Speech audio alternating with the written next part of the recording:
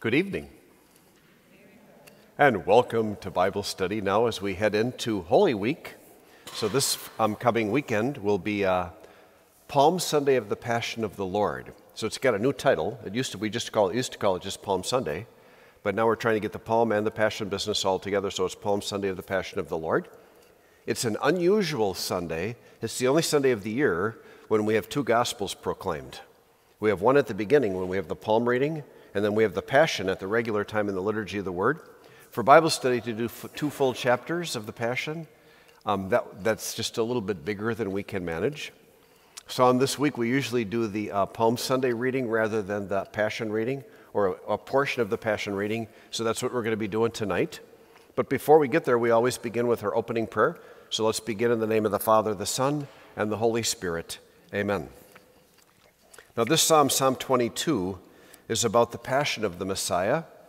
And you've heard it, so think, we're thinking very much not the Palm Sunday part, but the Passion part as we begin.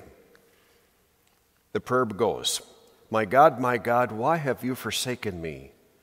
Far from my prayer, from the words of my cry.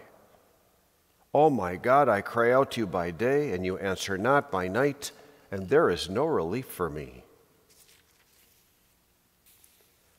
I am a worm, not a man, the scorn of men despised by people.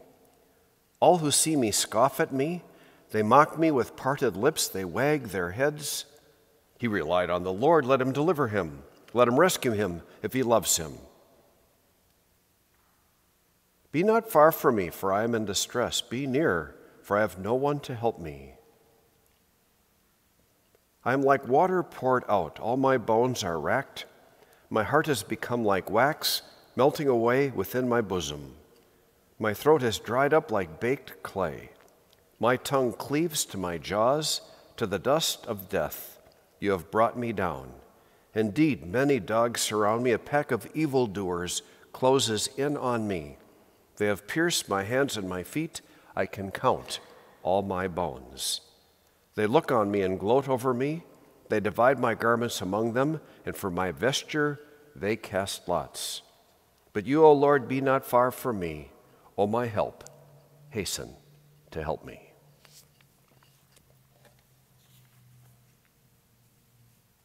So, mighty God, as we come to the very end of Lent, and as we prepare to celebrate, to recall your passion and death,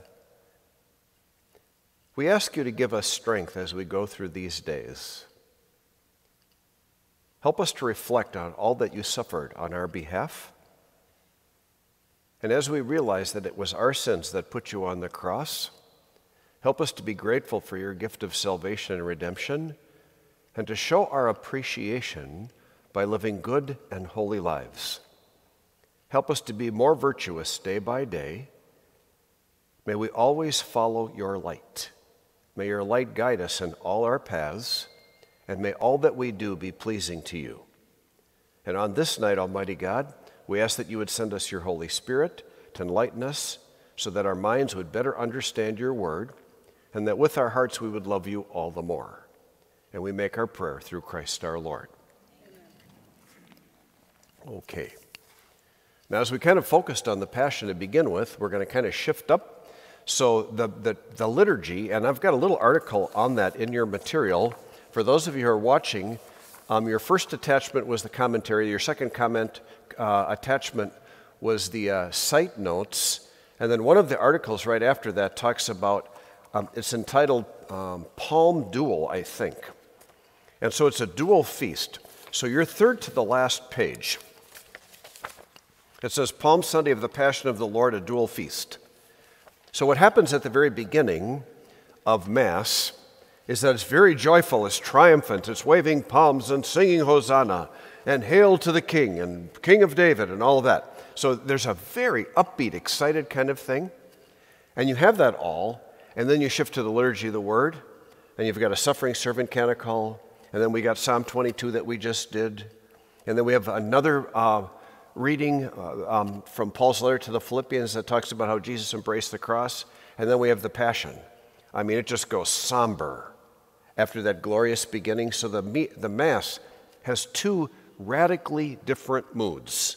So it's a dual feast. It talks about the triumphant entry into Jerusalem, and then we have the Passion after that.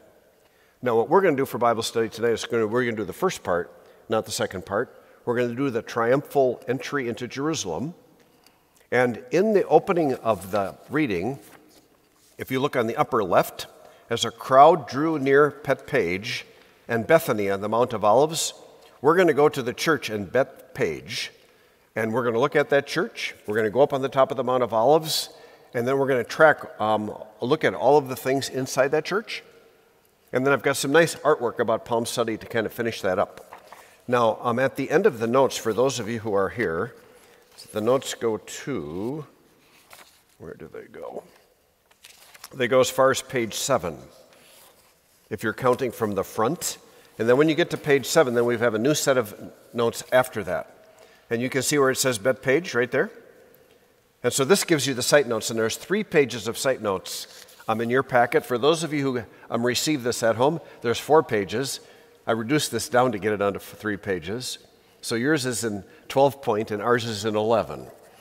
At any rate, more, more information than you ever wanted to know. But I've got the thing about uh, the biblical references and the things that happened there. And right in the middle, it says that the first church that was there was probably built in the 380s. Then there was a church that was built there during the 12th century, that's during the Crusader period. And I'm going to show you the foundations to the church from the Crusader period. And then the new church was in two phases. Its initial construction was in 1883, and then it was completely renovated in 1950. So the, the church that you're going to see is the 1950 renovation at the site of the church that was there from the fourth century. Now, during the time of Jesus, this was out of town. A hundred years ago, it was out of town. Right now, it's like our suburbs. I mean, they grow out and grow out. And so the suburbs of Arab East Jerusalem has grown around it. And I'll show you a little bit about what that looks like. So when we talk about Arab East Jerusalem, it's the north and east side of Jerusalem that's all Palestinian. When you go east of the Temple Mount and you go up to Bethany, that whole thing, that's all Palestinian, predominantly Muslim, a little bit Christian. Okay? And then we go out to the desert, which is just a hair further out than that. And to confuse you, it's part of the West Bank. It's East Jerusalem and part of the West Bank. The West Bank of what? The West Bank of the Jordan River. But remember that the Jordan River goes all the way down to Jericho, huh? And so there's about 20, 25 miles that come right up to Jerusalem that are all part of the West Bank. And it comes right up to the city of Jerusalem and encompasses the Mount of Olives. So I hope that's not too confusing but at any rate, I didn't put any maps in here to show you that, but we'll be okay. Are ready to go? We're going to take our, a look at Bethphage. Now, we're going to be looking at the triumphal entry into Jerusalem. This particular fresco is at the Russian Orthodox Church of the Ascension, which is about three or four blocks away from the church we're going to go to visit. And so, I mean, they were trying to commemorate some of the beautiful things that go on in the area. So, this is one of about five or six different ways that Bethphage is um, spelled Every one of them is okay, and I've got the whole list of them in your notes, and then that's Arabic um, below it. Okay, so here's the city. And so right now I'm standing on the top of the Mount of Olives and not looking toward Jerusalem, which would be looking to the west, but turning around and looking to the east. Now you can see that it's very mountainous, huh? Mountain hill, big, big valley, more hill, valley over there, mountains further out.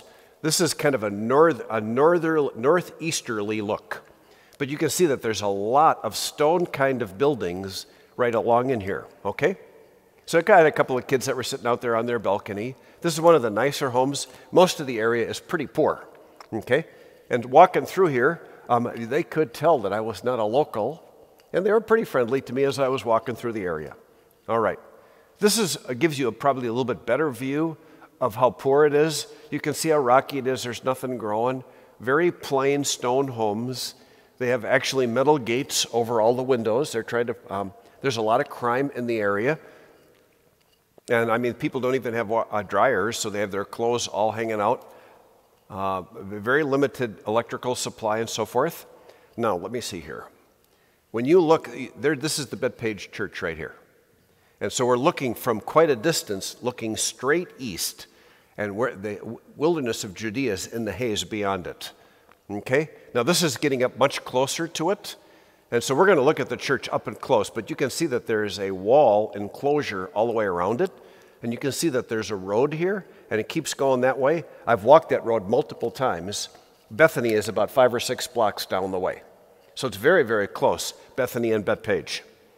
All right, so this is looking at the church a little bit more close up. There's the, how, how, how's that for a beautiful road to Bethany?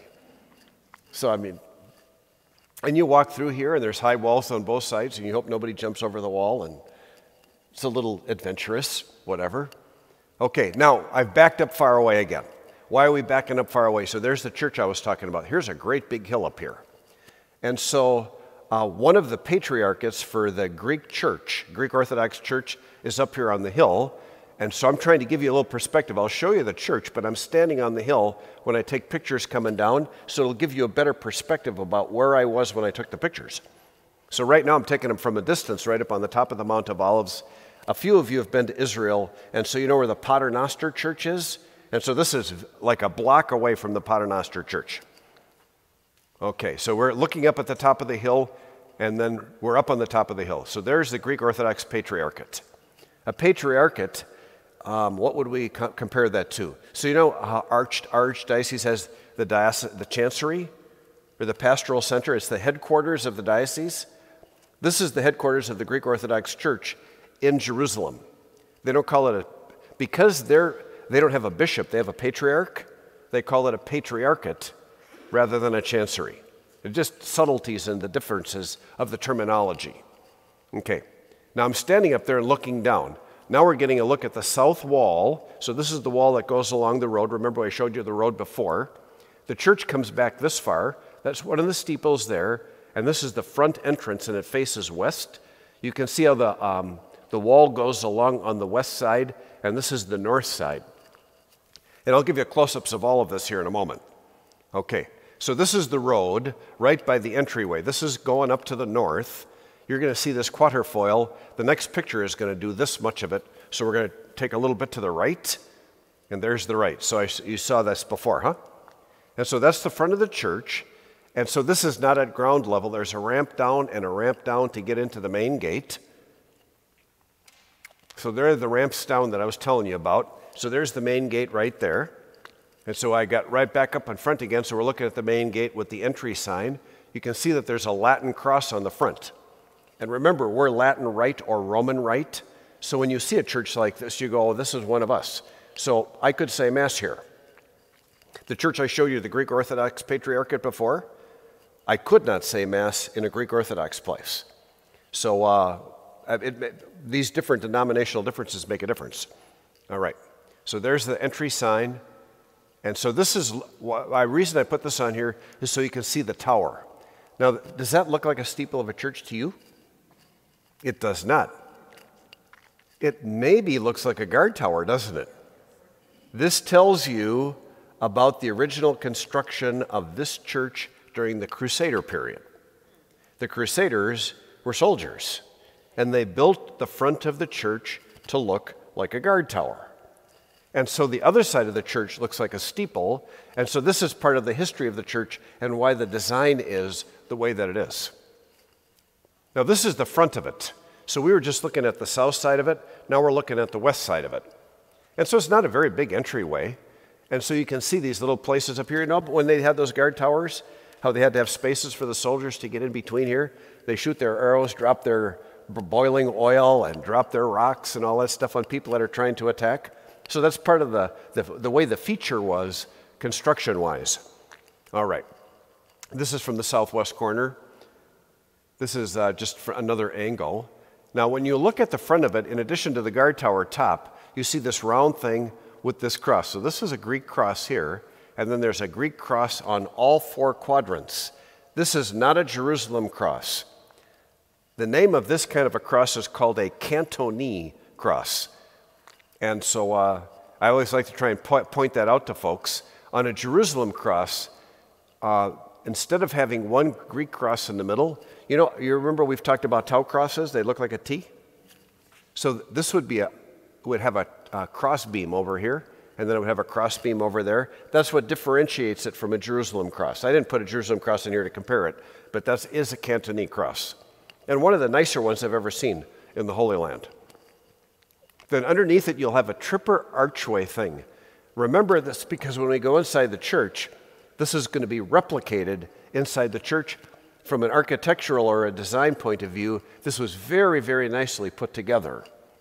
Then when you go down, this is the northwest corner of it. We're going to go down the, the north side of the church there. So there's a kind of a walkway along the side. And then you can see the steeple up here. We're going to give you the steeple a little more close up. This is the steeple from the other side. Okay, so the, that, um, the guard tower thing that I was talking to you about, that's about right here. That's, this is the length of the church going to that far over. All right. And so this is looking at it from a distance. You know where I showed you the Greek Orthodox Patriarchate? It's up the hill over there. And you can see that we've got a Latin cross. I'll show you this up close. Let's do that right there, okay? So you can see the Latin cross. So there's a Latin cross on both sides of the church that lets you know that it's Roman Rite. Then you can see that we have a quatrefoil here.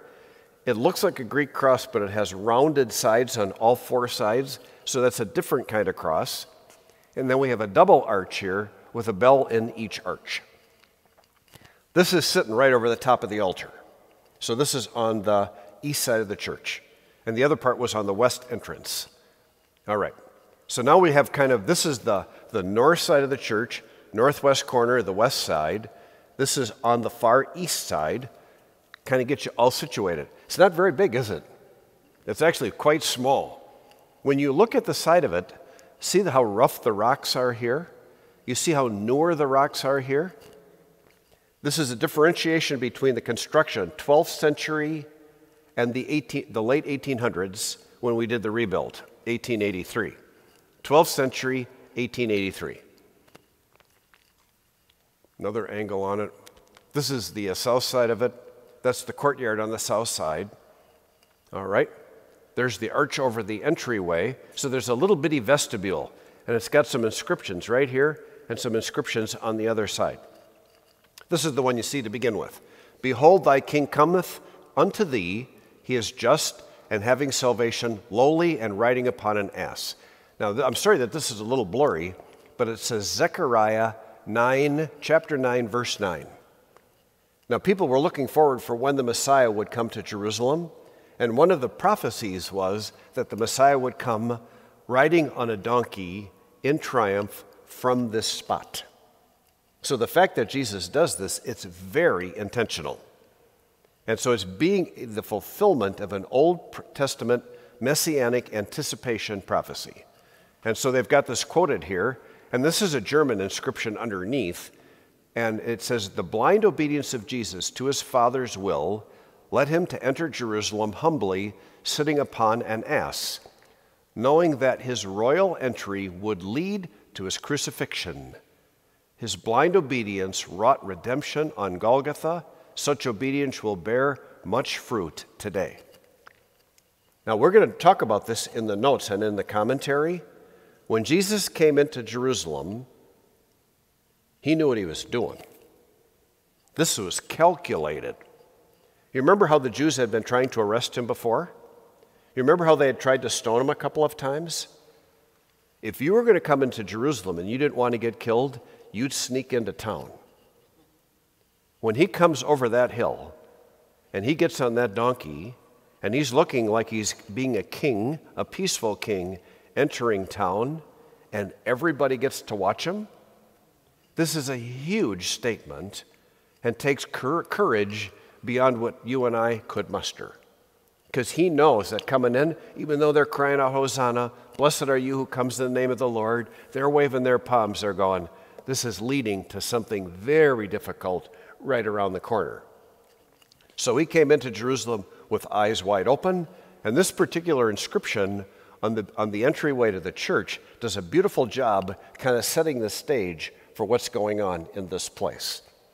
All right, on we go.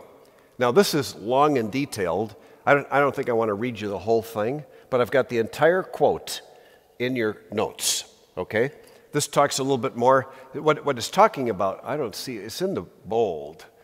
when coming to Bethphage, the Modest Chapel was built here in his honor. Here's the deal standing on a large rock, which can be clearly seen within the church. The church is about the large rock. And so I'm going to show you the rock when we go inside the church. Okay? The stone of Bethphage. That's what the, ch- the church is built right over the stone. And so um, let me see here. See where it says large stone? It goes stone, stone, stone, stone in the thing. So I get you ramped up. We got a big stone coming up. It's very exciting. Father took us to another pile of rocks. Now he takes us to a big stone, for heaven's sake. now, there is a quote that, that um, that's supposed to be a J-O, John, chapter 12, verse, uh, chapter 12, verses 12 and 13. This is in Latin. I've got the Latin inscription in your notes and the English translation. So remember, in John, there's a triumphal entry into Jerusalem. Only John's gospel talks about the people waving palms. In the other three gospels, they have cut branches, not palms, and they're laying their cloaks on the ground. So this gives you John's version of how that took place. Then you go on to the next one. You see where it says Marcus down here? Chapter 11, 8, 9, and 10. That's part of the gospel that we're going to be doing tonight. So this is in Latin. I've got the Latin quote and the English translation in your notes as well. Remember, we're going to be comparing these two things.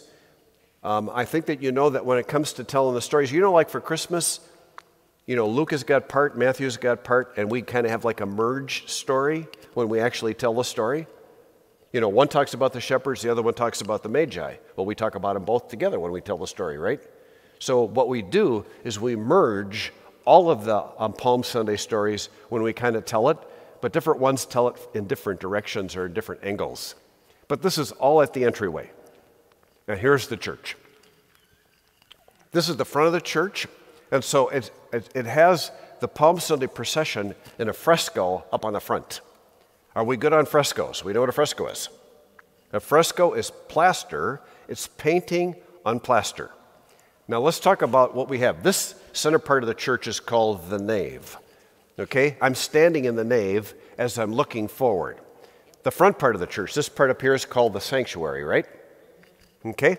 When you have a rounded thing behind the altar, we don't have one of those, really don't have one of those here. It's called an apse, an A P S E. That's that rounded thing behind it. Now, the thing over the top, the term that you, I mean, you would know this term, it's a dome.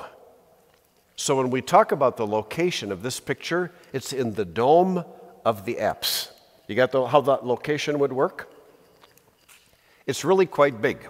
Now, you know, I'm, I'm a little bold when I come into these churches, and I was in the church all by myself, and I knew, honestly, that the triple arches on the outside are replicated here. And I should have got up there and taken the altar cloth and peeled it back so you could see exactly how it is, but it just escaped me. On the next visit, I'm going to do that so you can see exactly how that works.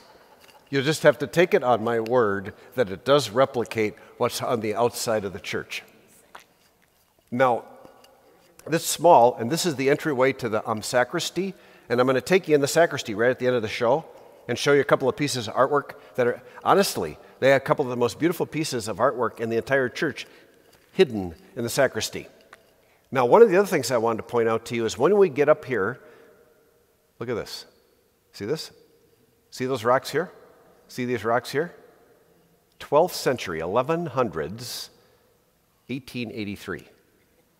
You see the difference? What they did is they built this church exactly upon the foundations of the church that preceded it. So it's exactly the same size and dimension. And so when you look at these, a lot of times people come in, they really don't have an observant eye and they're not paying attention to what's going on there.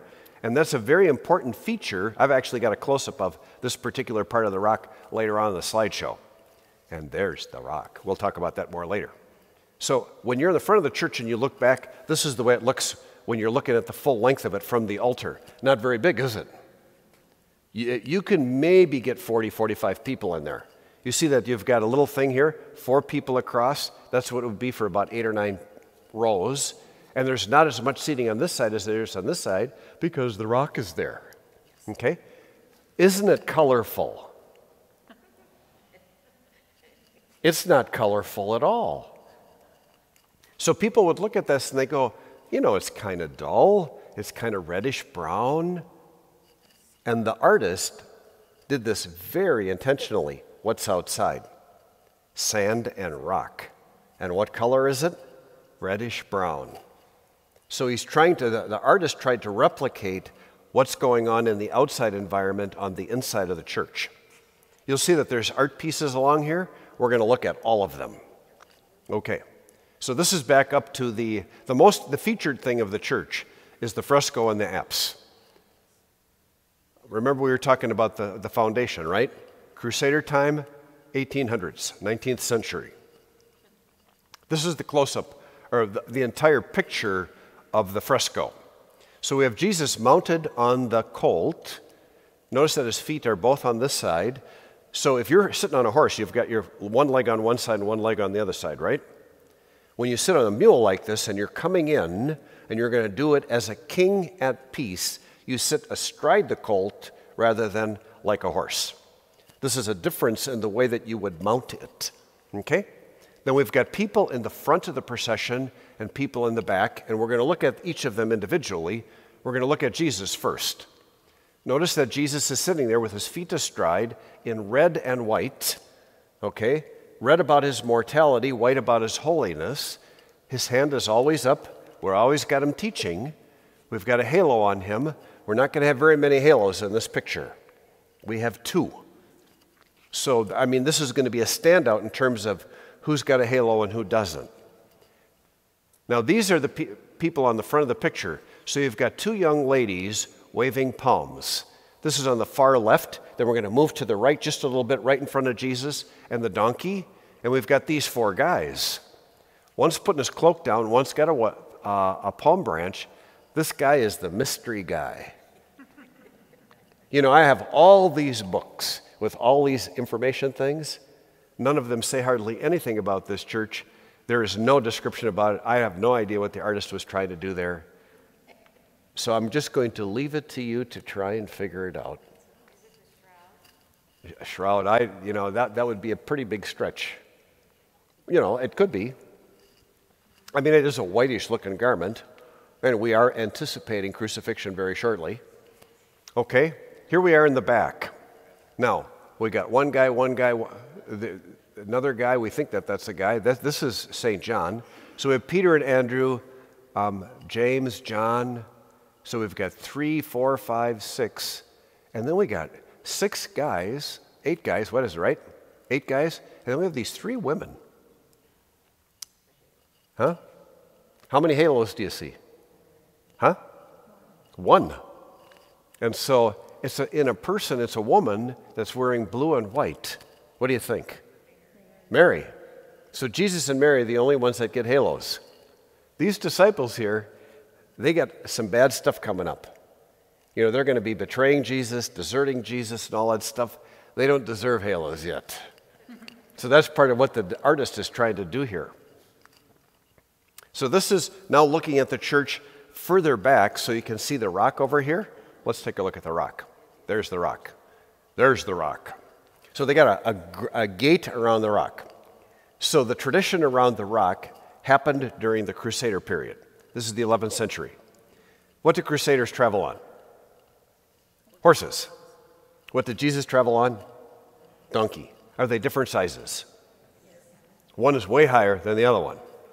So these Crusader soldiers are going, when Jesus came into Jerusalem, he had to step up onto something to get up onto the donkey because they had to step up on something to get up on their horse.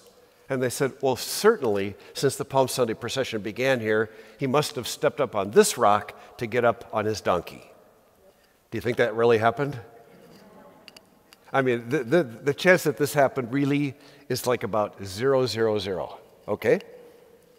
But people have venerated this rock as the place where Jesus got onto the donkey for just 900 years.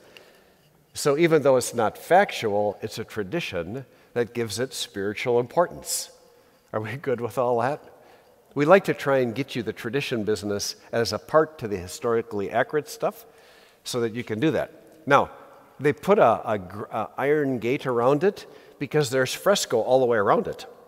So in 1950, they tried to be doing some nice stuff and they were trying to recreate some of the stuff from the Crusader period. And so it's really not in very good shape, but they don't want anybody to deface it.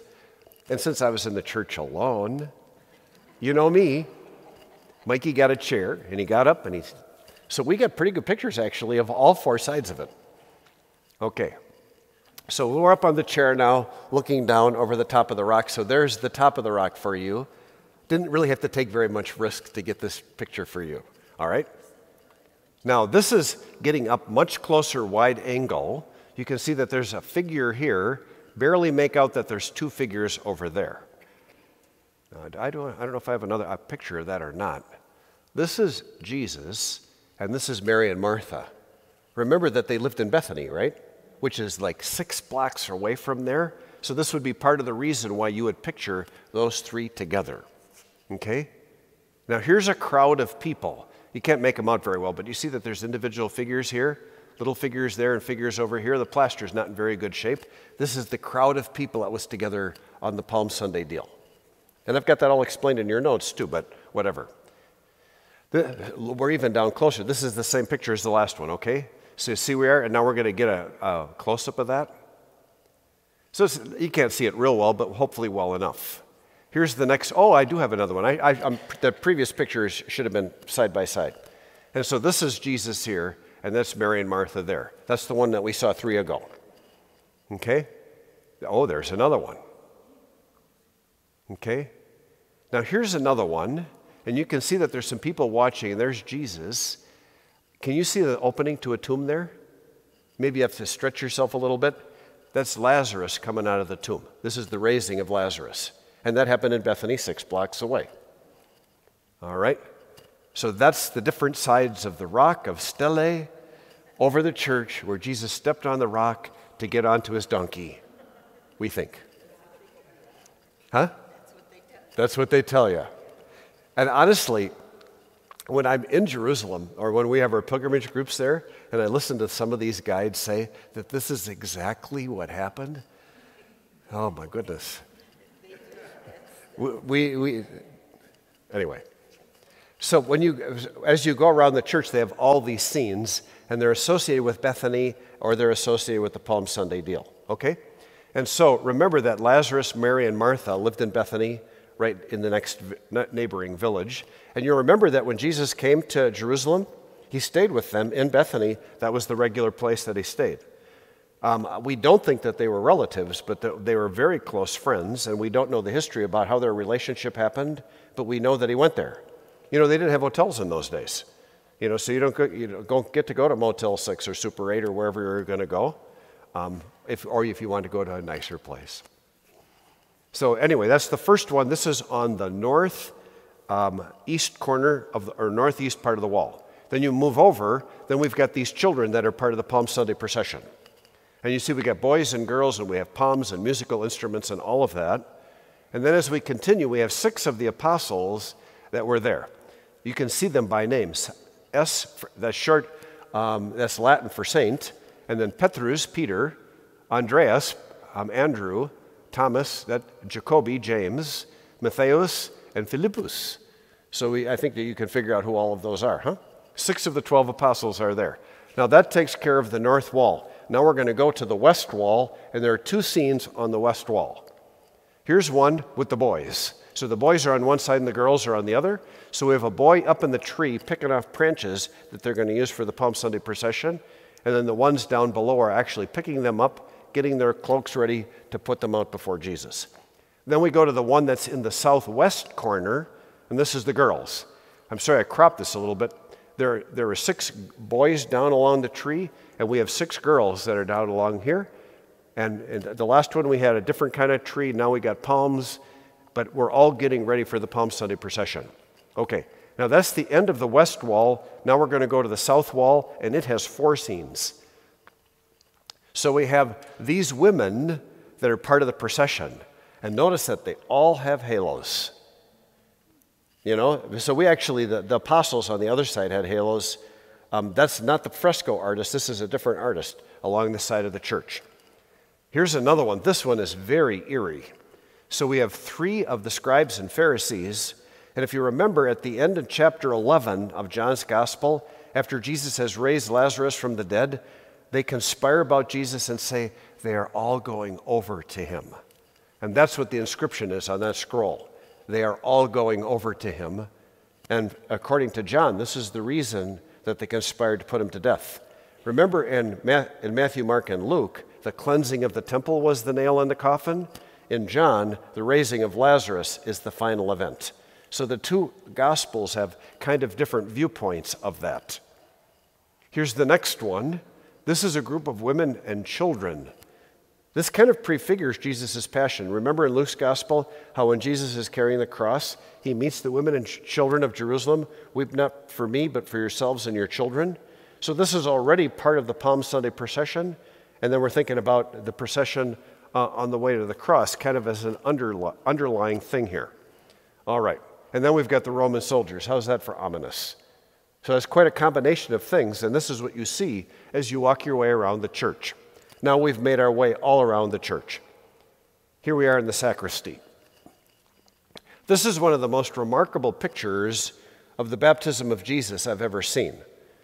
Remember that when Jesus came back to Bethany and Bethphage, it said that he was coming from Bethany across the Jordan. So he had been out of the city, down by Jericho, a little bit further, maybe by the Jordan River or further, and he was coming back. So this is part of the reason with the association with Bethphage and the Jordan River. Now remember when the Israelites came to the promised land, they had, you know, they were 40 years in the desert. Remember when they brought the Ark of the Covenant and the priests were blowing the horns and the water stopped in the river and all that? That's why that's here. The Jordan River was another important place because Elijah ascended to heaven on his chariot there. Remember that when he went to heaven, Elisha is on the ground saying, I would like to have a double portion of your spirit. And the way that he received it was when Elijah's cloak fell from Elijah down to Elisha, who is kneeling on the riverbank. Was this an important event? When they brought the uh, Ten Commandments and all that stuff over, they put the 12 memorial stones along the riverbank. Okay? So maybe you don't know all the details of the story, but it's really an extraordinary piece of art. And then we've got Jesus himself in the river being baptized by John the Baptist. His walking staff has a cross on the top. And then we have Jesus with his arms crossed over his chest. For those of you who are at daily mass this morning, we talked about that with regard to Mary, right? And so remember when Mary says, Let it be done to me according to your word? This is prefiguring Jesus in Gethsemane, not my will, but your will be done. So Mary and Jesus both do the obedience thing, and that was the thing that we talked about so much this morning about how important it is to be obedient to God's word. This is the, one of the very few peaches where I've seen two angels there on a cloud with a towel. When you're done with your baptism, we're going to try and get you taken care of. How's that for interesting? So that's in the sacristy, and this one's right next to it. And this is really a gorgeous Palm Sunday procession portrayal in art.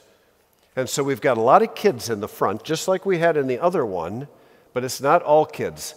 I wish I had done a close up with my telephoto because there's some adults in the back and there's some adults over here. So you have this combination of people that are praising him, and then the Jewish officials going, Oh, he's coming, you know? And then we've got the apostles back here. But one of the things that I'd really like to point out is they're kneeling. And these ones are kneeling. So you have that veneration business about Jesus being the King of the Jews and being the promised Messiah. Some people believe, and then we've got the critics that were back here at the entrance to the gate. And so this is the gate of Jerusalem, and this is the wall around Jerusalem as he's coming into the city. All right. Now, the rest of this is going to be, we're off site now. We're just going to look at artwork that does this. And so the triumphal entry into the city is in all four Gospels. And so Luke, I mean, I had a stained glass window that did that, so it's not the only one. This is one of my favorite ones. This is on the front page of our bulletin this week. Okay? And so this is, um, this is at a Lutheran church. Get a load of that in Canby, Minnesota. Our Savior Lutheran Church, one of the most beautiful art churches I've been in in the state of Minnesota. And so it's got Jesus on the donkey the, and all of this as he comes in. This is a little bit more close up of it. Very nice. All right. Um, I wanted, you know, we've gone on a trip to Ireland. This is at St. Finbar's. I, knew, I thought you would like going to St. Finbar's. And so this is in Cork.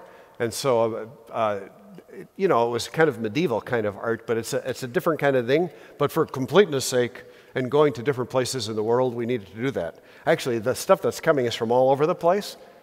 Here's one. This is from the country of Jordan in Madaba. And so this is a, a mosaic.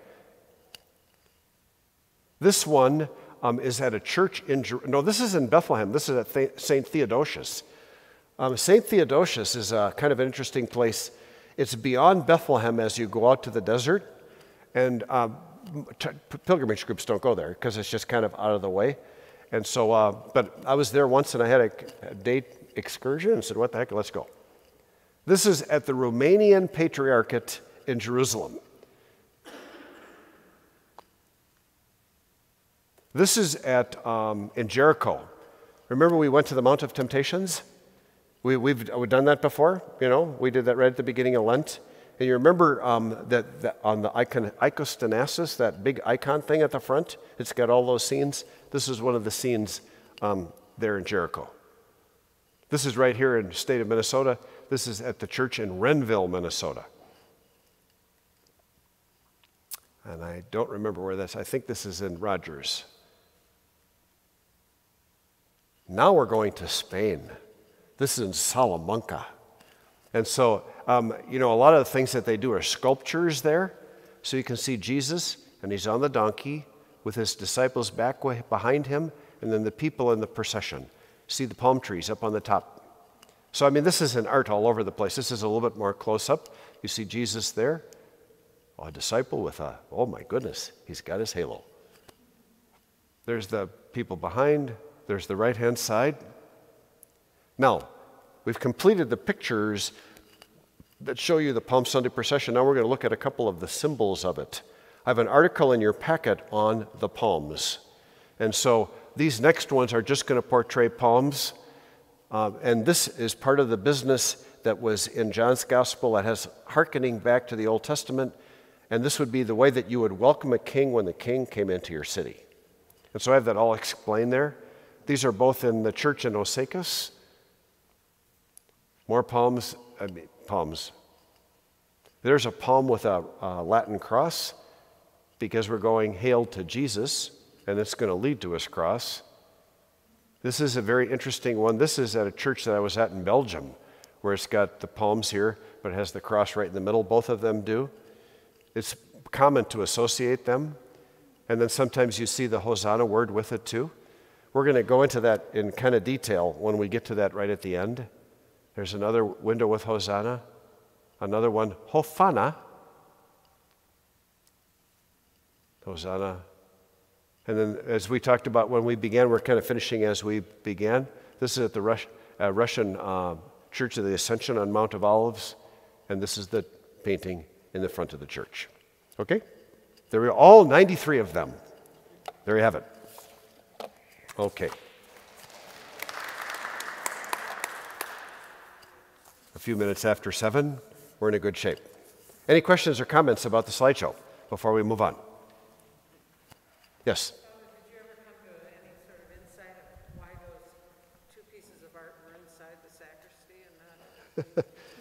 so the question is uh, Did you ever come into any insight about why the pieces are in the sacristy? I have no idea. So usually what happens though is that um, they'll get a church all set up art wise, and then somebody will come forward with another beautiful art piece and they got no place to put it. You know, so, and it ends up going in the sacristy rather than in the main church. I mean, so when I was at St. Stephen's, I put a couple of art pieces in the confessional just because we didn't have any place to put it, you know? Uh, so uh, uh, one of the places that I thought was most remarkable about that, you know, I go on trips all over, and so I was at Christ the King Cathedral in Superior, Wisconsin.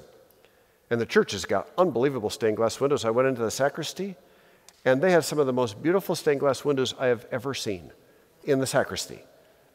And so I'm, when I go on tour, I never stop with the church. I just keep exploring. Look in the confessionals, look in the sacristy, go up in the choir loft, because it's amazing where you find artwork tucked away. Um, one of the most, I, I don't know if you've ever heard of Beroun, Minnesota. It's about six or seven miles south of Hinckley, and there's a little church in Beroun. And so I went there, and it's got the uh, Joyful Mysteries on one side and the Glorious Mysteries on the other side. And I'm walking up to the choir loft, and in the hallway, along the stairway, it has one of the most beautiful stained glass windows of Christ the King I've ever seen in the hallway or the stairway to the choir loft. So you just never stop looking. I do have anything hidden in here? We've actually, I think, down at A14. You know that picture of Jesus looking over Jerusalem down in A14? I think that that's one of the nicest pictures of Jesus looking over Jerusalem I have ever seen, and it's not in our main church. Really, it's just gorgeous. And there's a picture of uh, Pope John Paul II down there. Very beautiful picture of him. And there's also a kind of a stylized resurrection cross that's in A14.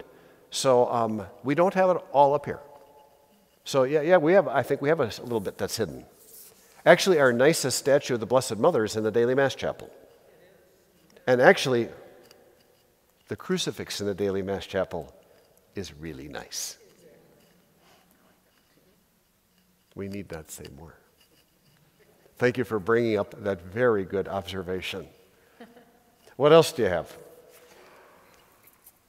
Yeah. How did the church get to taking the palms and burning them to be the ashes on ashes? Oh. I should know this. The question is how did the church get to the practice of taking the palms, burning them, and then using them for the ashes? I know that there's an explanation for it, but I just, I don't have it for you.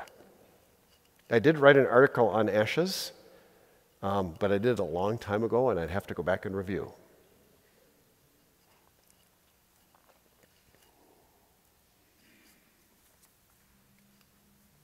Are we ready for the next part? All right. So, normally we are looking at the lower right hand side, um, but we're not doing it this time because the gospel starts. So, we're going to start with it on the upper left. And then I have a couple of the readings from Mass, but I, I didn't put the Passion in here. So we just have a, a, a portion of this. But we're going to focus on the part on the upper left, okay? So here we go. This is the reading from the Holy Gospel according to Mark, and this is the beginning of chapter 11. So as the crowd drew near Bethphage and Bethlehem on the Mount of Olives, close to Jerusalem, Jesus sent off two of his disciples with the instruction Go into the village straight ahead of you, and as soon as you enter it, you will find tethered there a colt on which no one has ridden. Untie it and bring it back. If anyone says to you, Why are you doing that? say, The master needs it, but he will send it back here at once. So they went off, and finding a colt tethered out on the street near a gate, they untied it. Some of the bystanders said to them, What do you mean by untying that colt? They answered as Jesus had told them, and the men let them take it. They brought the colt to Jesus and threw their cloaks across its back, and he sat on it. Many people spread their cloaks on the road, while others spread reeds which they had cut in the fields. Those preceding him, as well as those who followed, cried out, Hosanna! Blessed is he who comes in the name of the Lord. Blessed be the reign of our father David to come. God save him from on high. The gospel of the Lord. So we'll take a couple minutes now of silent meditation.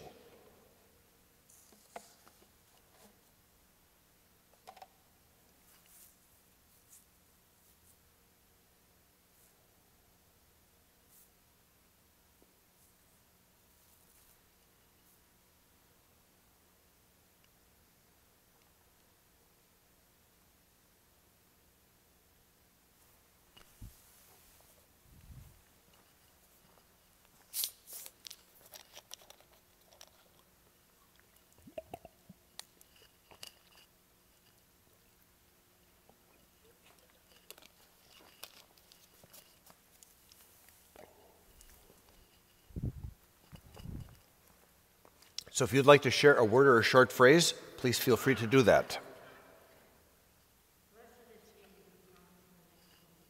Blessed is he who comes in the name of the Lord.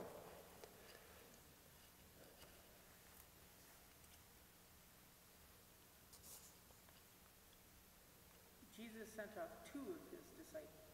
Jesus sent out two of his disciples.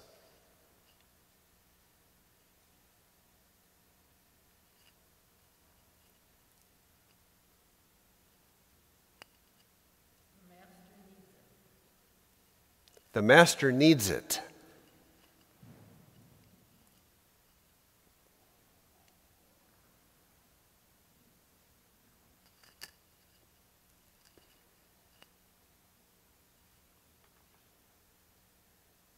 Looks like we're good to go with that few. That's all right.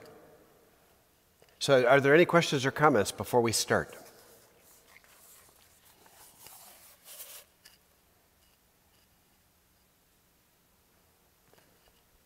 I guess, go ahead, Kenny. It says, Blessed be the reign of our father David to come. They were thinking that this was really a political deal. It would what?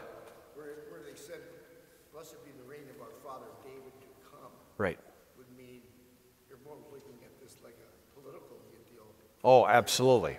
So the, the comment is Blessed is um, the reign of our father David to come. And so Kenny's comment is they're looking at this as kind of a political deal. Remember that the confusion over what the Messiah would be, we've talked about that a lot. Is he going to be a king? So is he going to be a secular ruler? Is he going to be a military general? One of the things that they were hoping for is liberation so that they would be an independent country again. And so they had been independent under David. And he had, I mean, so they had freedom from all of their enemies. Remember they talked about that?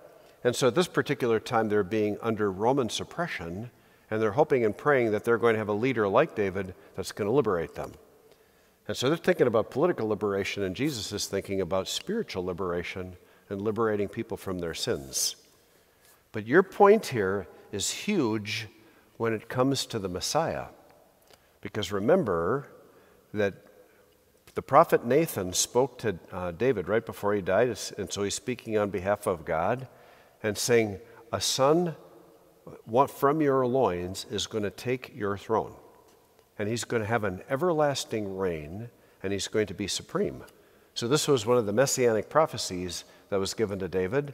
So, if we're talking about the one who's in the line of David, who's going to be a king like David, they're saying that Jesus would be the fulfillment of the messianic promise. Okay? Huh? He'd be on the throne, right. He'd be on the throne forever. He'd be an even greater king than David. And that had been the greatest king in the history of the country. So remember that there were three great kings during the monarchy. Saul was first, and then David was second, and then Solomon was third, and then things broke up after Solomon. Then we had a northern kingdom and a southern kingdom rather than a united kingdom. So that happened in the 10th century BC, around 930 or so, when the, the kingdom divided.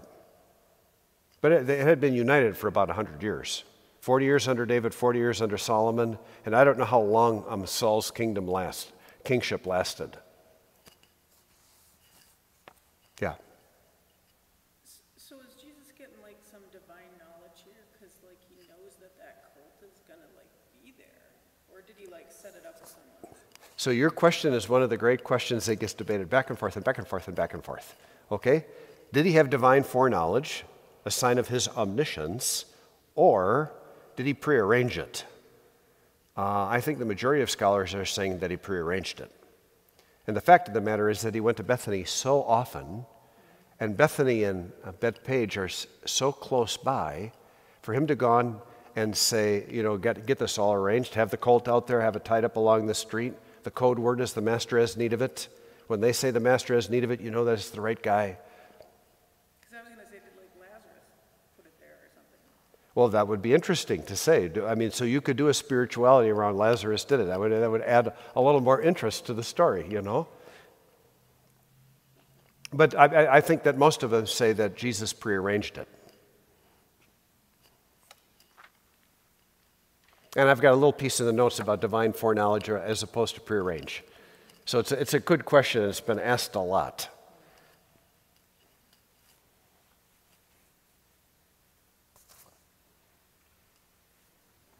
Are we ready to turn the page?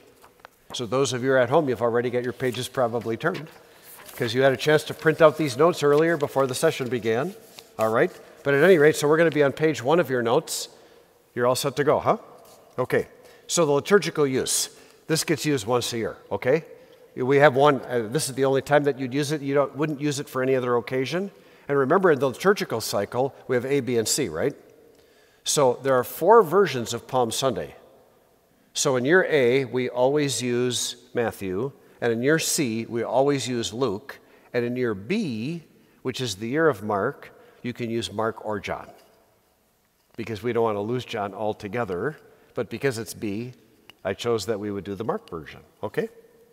And so the parallel gospel accounts, I have the other versions listed there, yeah. So we use a Matthew version of this as the, In year A. in year A, as this gospel for the procession? Yep. Okay. So there's a Palm Sunday of triumphal entry into Jerusalem in all four Gospels.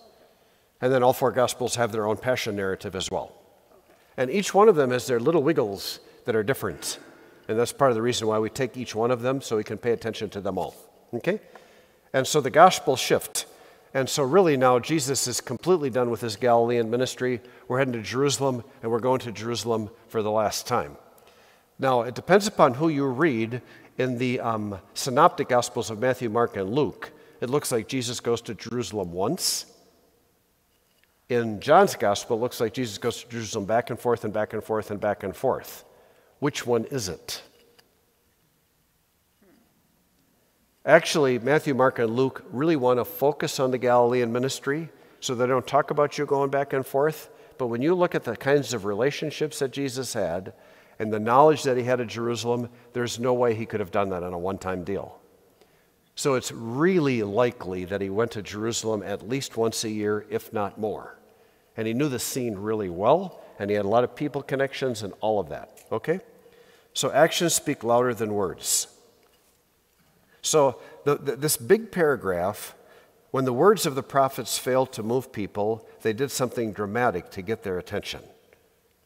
You know, so you speak to them, speak to them, speak to them. If they won't listen, then we're going to do something bold that's really going to grab their attention. All right? So Jesus could have come into Jerusalem on foot, couldn't have he? Now, we talked about the reason about him coming into Jerusalem in hiding, but one of the ways that he could have come was just like any regular person would, walking into town, and he chooses not to do it. Now, the, the prophets were upset with people because they hadn't listened, so then they have to do something more extreme. Jesus had a, a lot of followers, but in Jerusalem, he had a lot of people that didn't listen to him. So, this is part of the doing something extreme to get their attention. Now, the next paragraph talks about the defining moment. I think that William Barclay does just a terrific job describing here what's going on in Jesus' mind and what he's doing. And we described this earlier, okay? That with all of the stuff that had happened against him, he would have, under normal circumstances, snuck into town. And the fact that he is deciding to do this in a very open and public way, almost in an in your face kind of way, a defiant kind of way, I'm going to make a statement. I'm coming into Jerusalem. I'm doing it on the donkey. You all know what this means. It's a symbol of the Messiah, and I'm sitting here on the donkey, and I chose to do it. And he knew that the chief priest would go crazy because you're claiming to be the Messiah and you can't. And he knows what the end on that's going to be. All right. The very last line there of that um, big defining moment paragraph, um, or any, any, man who um, tries to. So, what's going on here is that Jesus knows he's going against the religious establishment. You, have you ever gone against the establishment? Like when I'm over at the U, I'm going to go after the establishment of the University of Minnesota. I mean, so I'm, go to the chancery. I'm going to take down the chancery. I mean, you know what the chances of taking down these big organizations are? And, if you go to a group, so like Jesus is coming into town and saying the way that you're doing religion is wrong, and it's a fraud, and it's, it's all a charade, and the way you do business is totally flawed. You know how the leadership's going to feel about that, right? They're going to go berserk. And so, what he's doing here is he's doing a huge critique on the way they're doing business, and they couldn't stand for it. But he's going, I got to give you one last shot at this gospel of love, and this gospel of service and this gospel of generosity the way that God wants it to be done, not the way you're doing it. You got how that would, how, what a powerful thing that is? Anyway, okay. So we're on the bottom of the page now with the journey motif. And so when you look in, um, the, the main journey motif gospel is Luke, but even in Mark you have it.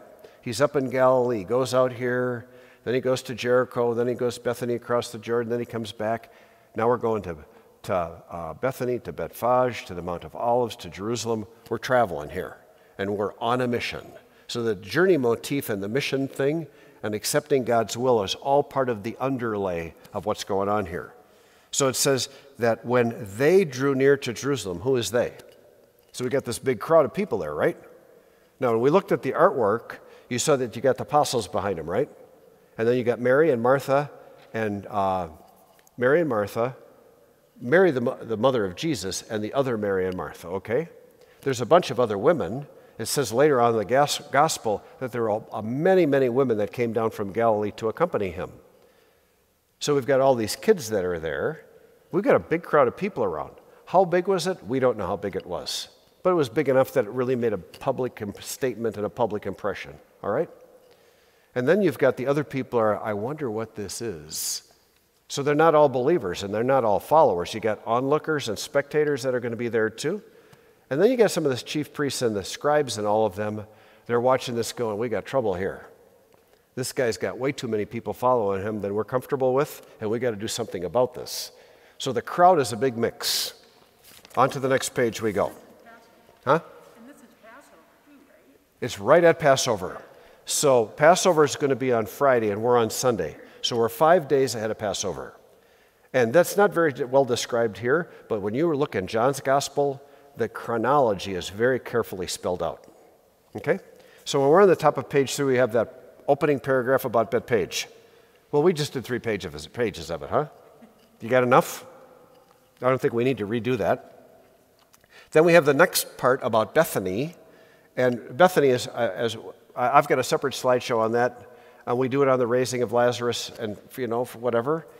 Um, it has its own church, but it was very close nearby, and it's the home of Mary, Martha, and Lazarus. We're on the Mount of Olives. The Mount of Olives, there's a number of mounts. You got Mount Zion, you've got Mount Moriah, you've got Mount Olives, you've got Mount Scopus. You've got all these really high hills that are in Jerusalem. Mount Moriah is 2,500 feet. Mount of Olives is 2,700 feet. Mount of Olives is a little bit higher than Jerusalem itself. So it's a huge vantage point. When you go there these days, you got the Russian Orthodox Church of the Ascension, you got the Pater Noster, you got Dominus Flevit, you got the Russian Orthodox Church of St. Mary Magdalene, you got the uh, Gethsemane Church, the Church of All Nations. It's just churches all up and down the side of the Mount of Olives. And then when you go off on the south side, it's all tombs. And on the all tombs, in the Old Testament, it says that the resurrection of the dead is going to begin on the Mount of Olives. And if you want to be well positioned on the last day, on Judgment Day, you want to go to heaven like first, you have to be buried there. It's amazing. You know, when I, I, I think that you know that I did my hospital chaplaincy in Chicago at Rush Presbyterian St. Luke's Medical Center. And so um, I was there for the death of a Jewish patient. And so I'm walking in, and they're very orthodox, and they wouldn't allow them to take the needles out. We have to leave the blood and all that sort of thing. And they said, Well, we have to arrange now for transportation to the Mount of Olives Cemetery. And I'm thinking they're talking about the Mount of Olives Cemetery in suburban Chicago. and I'm going like, oh, they're getting prepared to transport the body to the airplane, to fly it across the ocean, to be buried on the Mount of Olives in Jerusalem. And so the belief, even today, about that is amazing. Anyway, the, the Mount of Olives is a, you know, it's a very important place. Jesus spent a lot of time there. Off we go. So Jesus sent um, these two disciples. Is Jesus, does he have the authority to send disciples? He is like the man of commission. So he commissions all 12 apostles at various times, and he has the one, the authority to send us too. He had power over them, he has power over us. Okay? So he sent two of his disciples. Could one disciple have gotten the job done? Absolutely. Why send two? Huh? There's strength in numbers. And really and truly, when it comes to bearing witness, uh, mutual support, being able to do testimony, helping to withstand persecution, helping to withstand temptation, two are going to be stronger than one. Okay? Jesus understood this business about partnership. So this pastor worries about people who want to be in ministry as lone rangers. I want to be in charge of this and I want to do it alone. He's like, uh oh. Because that's really a kind of a contrary to the way that Jesus does business. He wants us to get along and to work together and be partners in serving Him. And this sending them to as a twosome here is one more example of that priority. Okay? Anyway, When he, he sent them out to begin with, he sent them out in groups of two. he did. So that's earlier in the gospel when he sent them out two by two. Go to the towns that I'm going to be visiting, cure the sick, expel demons, preach the gospel. Exact, you got exactly the right thing. Well, there I have it. I actually have the quote in there Mark, Mark 6 7. And so we're in chapter 11, so he had done that earlier in the gospel. Okay, so he's actually going to say later that two guys are going to go off and make the preparations for the Passover as well. So you see that two by two principle. And now, now we're on the top of page three. Remember that wherever two or three are gathered together in my name, I am there. So you have that particular piece too. And so ministry done by two or more um, provides mutual support, fraternal correction, corroboration, reliable instruction. I've got all the reasons listed there.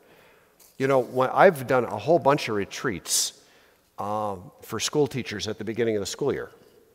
And they're in their classroom, teachers are in their classroom with their students alone. And one of the things that teachers start to think is that this is my, this is my class, this is my room, and I do this by myself. And I'm going, uh uh-uh. uh. you are on the faculty, you're on here a group of people. Now, actually, with our increase in enrollment, now we have two sections of kindergarten, two sections of first grade, two sections of second grade.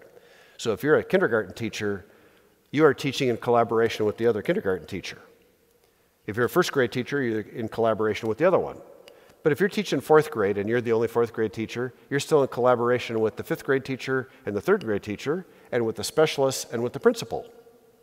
So I try and go over with the teachers over and over and over again that even though this is your own classroom, this is a team effort when you're teaching.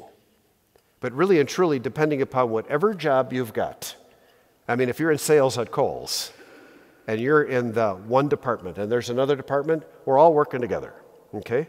And so from job after job and place after place, it's not about being the Lone Ranger, it's being a good partner because you get a lot of really great things done when you're in partnership with other people. And that's part of the Jesus principle here. Are we good on that? So be nice to each other when you leave tonight. Be good in your families and be good to your kids and be good to your spouse and whatever. You can be the sacristan alone because you're in partnership with Deacon Rick and the pastor, etc. Good? So he says, go to the village opposite. Well, I mean, so where's the village opposite? Well, where was Jesus when he gave the instruction? So the thought was that he was in Bethany with Mary, Martha, and Lazarus, right? So if he's going to the village or the village opposite or the village nearby, that would be Bethphage, right? You only have to go six blocks to do this. It was very close by, part of the reason why we would have it prearranged. Okay? So you're going to find the colt tethered there. So Jesus predicted that his disciples would find the animal. And he made other predictions too. And so um, Barclay is very clear about talking about how this was prearranged. Now, in the third line, Jesus may have been de- demonstrating divine foreknowledge. We talked about that before, but there's a simple answer about that prearranging it. Okay, now the business about the colt. Remember that little inscription I showed you on the beginning uh, at the entryway to the church from Zechariah chapter 9, verse 9? I've got it here. Okay? And so what happens in the middle of the paragraph, if you see, this is to fulfill the prophecy. Okay? The donkey symbolizes humility, peace, and the Davidic dynasty. The Davidic dynasty meaning um, Saul, David, Solomon, and a king that's going to be in the line of David. Okay? So, a worldly king, a power king, would have ridden into the city on a horse. And it would have been a demonstration of power and to impress people. Okay? When you're coming in on a donkey, this is all about peace. This is a peaceful king rather than a war king. And Jesus is showing something quite different, and it fulfills the prophecy in Zechariah. Now, we're going to sit on, yeah, go ahead. Who who was the other person who did that, that you taught us about? Did what? That came in on a donkey or took off all his kingly robes or something? Oh, yes, yes, yes. That's not scriptural. You're talking about Heraclius. Heraclius was the Byzantine emperor who came to Jerusalem with the true cross. And he was on a horse. Mm-hmm. And he had all of his regal attire on, and the gates to the city were locked. Okay? And an angel appeared to him and said, So you think you're going to go into Jerusalem after the way Jesus came in here meekly on a donkey while you're riding on this big horse in all your regal attire? He took off all of his regal attire, he wore a tunic, and, and he went in barefoot, and the, the gates to the city instantly opened. So thank you for remembering that. Uh, t- now tell me more about that. But we, we, we got there eventually, okay? Sure. Now we got an animal upon which no one has ever sat.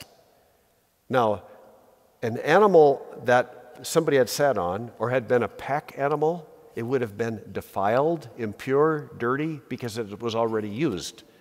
So we want the virgin version of this clean, never been used before, then it's sacred. And then it's worthy of the Son of God, it's worthy of the Messiah when it comes in. So you see the difference on that? Hopefully that's not too complicated. And a new young colt. I love this. So, this Bruce Barton, he's a commentator for the Life Application New Testament Commentary. And he said, So we got this brand new colt hitched right outside this house. And the owner of this house, or the owner of the colt, is uh, looking out there going, That's my nice new colt that nobody has ever used. And he says, It's just like somebody coming down the street and saying, Will you lend me your new car? Would you lend him your new car that nobody had ever driven before? But I mean, when you put it in those terms, it's like, wow, that's a pretty big deal that you let that colt go. At any rate. So then, when they, the code word is um, the master has need of it, and he's referring to himself as the master. In Mark's gospel, Jesus never does that. This is the one and only time that he calls himself the master. But it's also on the day that we're going to ride into Jerusalem as the new Messiah. See what's going on here? Now, in the Old Testament, remember that we've got some words in Hebrew that you use for God Elohim, El, Yahweh, Adonai. You've heard those words before?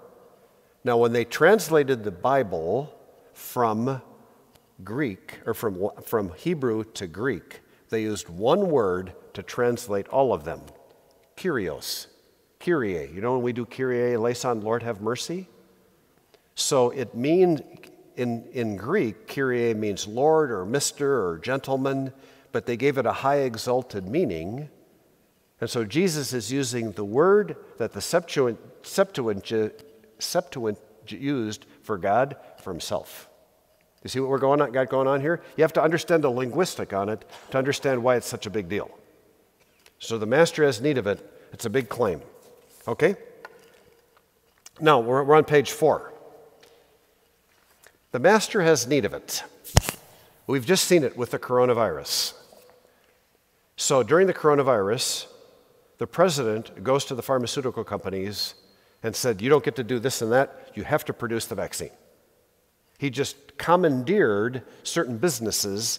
This is kingly prerogative that you can just come in and take what you want in an emergency situation. So when Jesus says, I want the colt, I want your new car, he has enough authority to take it because the king gets to do what he wants. So this is another sign of his kingship, okay? So the kingly prerogative, um, there's uh, a whole bunch of stuff in here. Examples at the beginning of the paragraph where the king can ask you to do this or that or any other thing. Remember that Jesus, the king, has prerogative with you and me. So if Jesus came and knocking on your door saying, I'd like your car now, would you give it to him? He said, You know something? Um, I'm knocking on your door. I see you haven't contributed any money to the church at all. And I think really it's probably a good idea that you would, you know, do at least two or three percent. I know I said 10 before, but at least do two or three. Okay? I'm coming into your house, you got a closet full of clothes, there's some needy people down the street. Let me say you pull out three or four of those and let's give them away. You see what the kingly prerogative is? And so the kingly prerogative is like, oh, it applied to them, but it doesn't apply to me. Ugh. It applies to all of us. Isn't this terrible when there's so many concrete applications? We have to work with other people. We have to be generous. We have to take our orders from Jesus. Really? Anyway, so they went off and found the colt. Get a load of these two disciples. Jesus says, I want you to go. There's going to be a colt out there. And they go, I really wonder if this is going to be a wild goose chase or not. You think a colt will actually be there? You think the guy will actually give it to us? No, they could have said this is stupid and not gone. They went on blind faith. You see how they're taking their orders? The way they're taking their orders on blind faith to do what God wants, that's a model for us too. Okay? So they found the colt, they did it on the street. Now, the fact that they did it on the street in town means that a whole lot of people are seeing it, right? So this is reason for witness value. Because then the people are going to say, Why did you do this? And they'll say, The master, who's your master? Jesus. He told us to do this. Who's Jesus? And then they have an opportunity to testify about their faith. So you see how that's built in the opportunity to share things? So when you and I are doing good things on behalf of what Jesus, and then people ask us questions about it, instead of going, Why are you being so nosy? You go, Oh man, I have an opportunity to testify. I have an opportunity to share about Jesus. And remember, evangelization is the fourth sign of a dynamic Catholic. And we want to be dynamic. We want to be his missionaries sharing his gospel because we don't do that just in church. The most important place to do that is beyond the church. Okay? So the bystanders are asking the question, which is all by design. And so they welcome the questions. And so this deal here is that when people come to us and ask questions, we shouldn't be pushing them off. We should welcome the opportunity and then go and follow up with them. So then, Uh, on the next paragraph down on page five, they answered them Jesus, Jesus had taught them. Isn't that good? I mean, they could have given, come up with some other answer, but they used the Jesus answer when they did their response. So you and I, we get the Jesus answer when we're here in church. When we hear the, the scripture readings, we've got the Jesus answer. When we're doing Bible study, we get the Jesus answer, so we're able to tell other people what the Lord told us. Okay? And we got the business about the fourth sign of the dynamic Catholic and all of that in there. Okay, so they brought the colt to Jesus and put their cloaks over it. So bringing the colt to Jesus, that's not very far. I mean, they're going from Bethphage to Bethany. Or if they you take it from Bethany to Bethphage, I mean, we're going to start the Palm Sunday procession, traditionally at least, in Bethphage. They put their cloaks over it. They didn't typically put saddles on these. They put saddles on horses, but they didn't put saddles on, um, on donkeys. But is it appropriate for a king to ride an animal bareback? And the answer to that would be no. So, by putting their cloaks on the animal, they're trying to show Jesus reverence and being able to acknowledge him then as the Messiah. So, then Jesus sits on the colt, and you saw the pictures and how he sits astride and how he's coming in like a peaceful king. So, riding a donkey like a king of David we've, I mean, this is a little bit repetitive because we got the Zechariah thing again, but when you put the cloaks on it, you're doing, you're invoking all of that imagery. Okay? Now we're going up to the top of page six. Now, Jesus, when he rode the donkey into Jerusalem, he's being an agent of peace and he's being humble. You know the saying we have about somebody riding their high horse? You know, people can be a little full of themselves and they like to demonstrate their power and their authority and all of these other things. And so this little piece here is about how much grandstanding do we do and how much gloating do we do and all of that. And there's a big challenge here about being the humble kind of people that we ought to be. So many people spread their cloaks on the road. So now it's not just the apostles doing it, but a lot of the other bystanders that are part of this deal and cloaks on the road. This next part is not from the prophet Zechariah, but it's from 2 Kings. So Jehu was one of the great kings during the Old Testament times. And when he was declared king and when he moved about, they put their cloaks on the ground. And so this is something that the people who knew their Old Testament well were familiar with this imagery. So spreading your cloaks on the ground was part of the way that you welcomed the king. As a matter of fact, the leafy branches, I don't know how much of this I put on there, uh, the bottom paragraph there about uh, the historical cultural note. These days we got asphalt and we have concrete. In those days they had dirt roads. Okay? So, if you get a dirt road in a, on the fringe of the desert and it has a lot of traffic, you have a lot of dust. And the more traffic you have, the more dust you have in the air. It's almost like a cloud of dust. Is a cloud of dust the appropriate way to welcome a king as he comes into your city? And the answer to that is pretty obvious it's no. So, how do you control the dust? You cut down leafy branches, you make sure they're wet, and you lay them on the ground. If you want to give even more exaltation, you can put some cloaks down there too, and all of a sudden you've got a path for the king with no dust, and it's a good experience. You see how we're honoring the king by doing that? Okay? So that's the end of page six. And now we're on page seven, the last page of all the stuff. Maybe I should take a breath. Um, any questions or comments you have before we go on to our last thing, our home stretch? Are we doing okay? Yeah, Carolee. Jesus' time, Jerusalem was more fertile, or that whole Israel area was the promised land, and then it turned into this dusty desert place. So the question is a real good question. Was Jerusalem more fertile when we talked about coming to the promised land, the land flowing with milk and honey? It's going to be so wonderful. Well, when they got there, well, it's not as much milk as honey as we thought. So when you're down at Jericho, remember it's a great big oasis, beautiful. When you go to go up to Galilee, the Galilee is very fertile. The Galilee gets as much rain as we get here in Minnesota, maybe even a little bit more. You can grow crops and everything like crazy, but it was desert. Okay, Jerusalem was. There's a little bit more growing right up in Jerusalem than it is when you go off into the wilderness of Judea, but it wasn't like the panacea and you know the, everything that they ever thought it would be right there in Jerusalem. But Jerusalem was always the capital city of that area, even for the Canaanites that were there before. And so you've got the headquarters, and then the land flowing in milk and honey was more around it rather than right at that spot.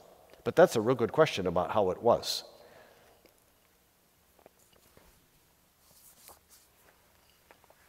Anything else?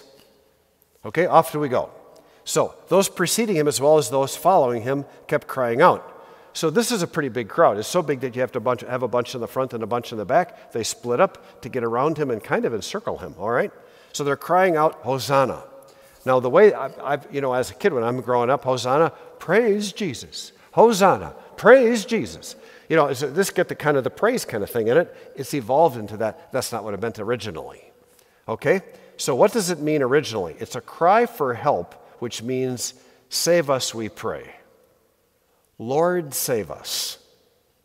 Now, it's a cry for God to break into history to bring salvation. It's a cry for the Hosanna, it's a cry for the Messiah, right? Remember the word Jesus, it's derived from Joshua and it means God saves. So when we're crying out God save us, that's being answered in the presence of Jesus who is the Messiah.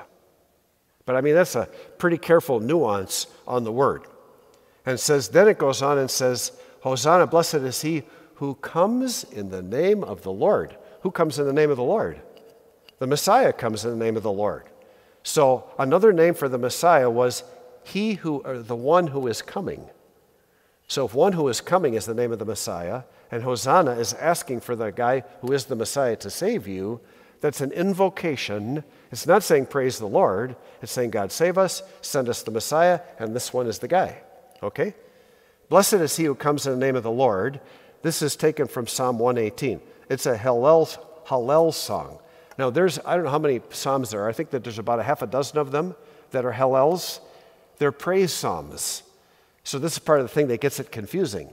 So, Psalm 145, 146, 147, 148, 149, and 150 the last six are all Hallels, but there are other ones earlier in Scripture that are also praise psalms at any rate. Now, find fickle friends. How's that for a nice word? For those of you who were at the penance service, you've heard this explained in detail. Remember, we talked about the three people that offend, the three groups of people who offended Jesus on Good Friday? You had the crowd, the Roman soldiers, and the chief priests and the scribes. This is referring to the crowd. Remember how they're going, Hosanna, Hosanna, Hosanna? And then five days later, crucify him, crucify him, crucify him. Not this one, send away Barabbas, but not this one. You know, and then they're jeering him from the cross. When we talk about fine, you know, we talk about fine feathered friends, we talk about fine fickle friends. How would you like, uh, in the homily, I said, with friends like this, who needs enemies? I mean, really and truly, they were turncoats on him. So you have this event going on where they're really not being authentic. Their faith is not deep at all. And God wants a deep faith out of us. He wants us to say, Hosanna to Jesus. You're the king of, you're in the line of David, you're the Messiah, and believe it with all our hearts and follow him with our entire life. The people in the crowd didn't do that very well. Actually, his disciples didn't do it worth a hoot. But the disciples all came back. You know, they were all reconciled to Jesus, except for Judas Iscariot, of course, and they all became heroic in the way that they followed him. So there we go. And the kingdom of our father David. So, what I've got in that um, paragraph right at the bottom of page seven is the quotation that God, through Nathan, gives to David, saying that somebody's going to take your throne. So, there's a number of great messianic promises in the Old Testament. One in Deuteronomy chapter 18, in which God speaks to Moses and said, There's going to be another great teacher like you who's going to give my word to my people. So Jesus is going to be the one promised by Moses. Jesus is going to be the one promised to David. And then there's another, a number of other Psalms and other places where you see it. Messianic expectation is really all over the Old Testament. But when we talk about hail, you know, you who are of the kingdom of my father David, we're getting that peace very, very strongly. And Jesus is in the highest. And you know, these people were praying with Psalms, weren't they? And it's a great way for us to pray too.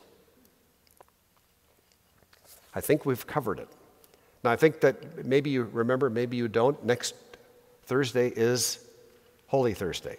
So we're going to be having Mass at 7 rather than Bible study at 6.30. So there will be no Bible study next week.